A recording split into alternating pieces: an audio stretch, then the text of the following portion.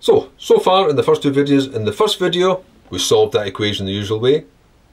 In the second video, we changed that into a system of three first order differential equations, which formed this matrix equation, where A was this matrix. Now I need to diagonalise that, because the next step is I'm going to change that A into the diagonal form P D inverse of P Z plus F. So diagonalising the matrix A. So I start with A and I'm going to find A minus lambda I equal to zero. Or I could have written that the other way around, the negative wouldn't have mattered. So what have I got then? Just leaving it like that. I've got subtract lambda from the main diagonal. Well the main diagonal will be negative lambda, negative lambda, negative lambda, simply because they were all zeros. So the rest will stay the same, 1, 0, 0, 1 and 6 and 7. Now, having written this down, that means I'm just going to proceed by normally working out the value of that determinant to get the characteristic equation, rather than the other technique, which is to go through the terms of the characteristic equation, have coefficients which are the determinants of the varying sizes of determinants on the main diagonal. So for this one, another thing I could do to make it slightly quicker is, it'd be handy if I just had a 1 in that top row. So you can use row or column operations to row reduce or column reduce a determinant and get the same result. So what I'm going to do, think, is I'll take column 1 and add on lambda lots of column 2. So that means negative lambda plus a lambda will give me a 0 there. 0 plus a negative lambda times lambda is a negative lambda squared, leaving the rest alone, and a 6 plus 7 lambda, and then a 7 and a negative lambda just so that uh, I've now got just 1 times its minor. Of course, 1's in a negative position, so it'll just be negative of, then missing out those, that will be lambda cubed, minus, and 1 times that, that will just be minus 7 lambda minus 6 equals 0. Forgetting that negative just means I've got to factorise that, and that of course was exactly the same, notice, as this original equation here. So the solutions would be lambda plus 1. If you wish to check back to that, I could do it again quickly. An obvious root of that is negative 1 using synthetic division. If negative 1 goes into that's a 1, 0, negative 7, negative 6. Rattling that negative 1 through the synthetic division, add down, multiply up, add down, multiply up, add down, multiply up gives me this as the quotient. Lambda squared minus lambda minus 6 equals 0, so that factorises to lambda plus 1. Lambda lambda, 2, 3, the negative goes to the 3, that says they're opposites. So that you've got lambda equals negative 1, call that lambda 1. Lambda 2 is negative 2, and lambda 3 equals 3 for the three eigenvalues then of matrix A. So, now find the corresponding eigenvectors to form P. I've got D already. D is just a diagonal matrix with those as the entries. Now what about P? We'll have to go through the separate cases. Well, lambda 1 was negative 1. So putting that into A minus lambda I means the main diagonals subtract this plus 1.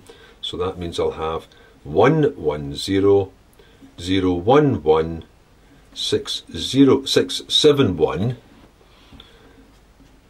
times the first eigenvector should equal 0. I can solve that by row reducing it. I'll reduce this bottom row straight away so that I've got 1, 1, 0 because the augmented matrix we just have in this side 0, 0, 0 so there's no point even considering them. Uh, 0, 1, 1 but if I take the bottom row and subtract 6 of the top row. Row 3 minus 6 row 1 I would have 0 1 1 those two rows are the same so this will subtract away to finally give me 1 1 0 0 1 1 0 0 0 v1 equals 0 so it's not a unique solution there's going to be a set of solutions but you'd expect that anyway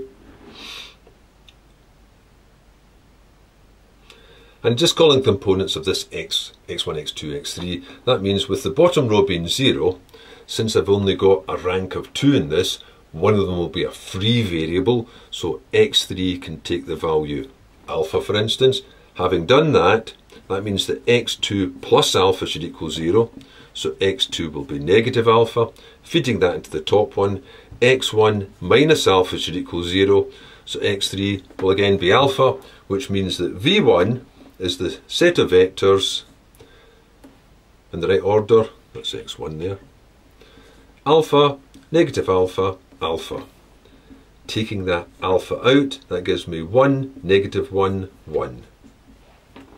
So the eigenspace corresponding to this eigenvalue here is spanned by this vector. This one will do nicely as a basis for that eigenspace. It's got the smallest values and the least number of negatives. Smallest integers, least negatives.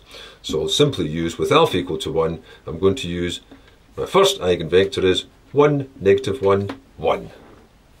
I'll put a note of it here. Now the second one. So my second eigenvalue was negative 2. So into the matrix A minus lambda i, that means I'll be adding 2 to the main diagonal. So it'll be 2, 2, 2. 1, 0, 2, let's put them in just now, 0, 1, 6, 7 times my second eigenvector should be 0. Now this is just a repetition, so we'll speed up a bit. Means my voice will sound a bit strange, and well, uh, stranger. Again, I'll go through a row reduction here to simplify the augmented matrix, which I won't bother to write down because the last column is just zeros. So it'd be row 3 minus 3 row 1. So leave those alone. So it'll be 0, 4, 2. That's double that row, so halving this and then subtracting the second row from it finally takes me to this then. 2, 1, 0, 0, 2, 1, 0, 0, 0. So there's a whole set of vectors here because the ranks dropped to 2, which means there's a free variable there. That free variable can be the third one. Alpha, let x3 equal alpha. So that 2x2 plus alpha is 0. So x2 would be negative a half alpha. And it says 2x1 plus x2, which is minus a half alpha, should equal 0. So taking that across and dividing by 2, x1 is going to be a quarter alpha, which means I've got vector 2 being this, or having this general form. A quarter alpha, stepping back up, negative a half alpha, and alpha. Well, that's the whole set of vectors which forms the eigenspace. Taking out, I think, the nastiest fraction, I'll take out the quarter as well, would leave me a 1, a negative 2, and a 4.